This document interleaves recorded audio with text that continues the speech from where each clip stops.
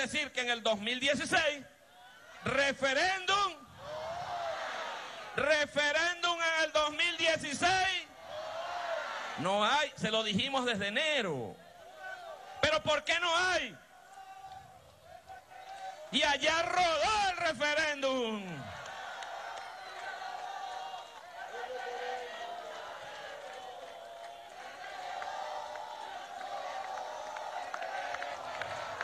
Pero ¿por qué no hay referéndum? Por culpa de Mata Figueroa, el pueblo chavista en Nueva Esparta. No, rodó por culpa de ellos, porque son unos incapaces, son unos inectos, son unos fraudulentos, son unos flojos, absolutos.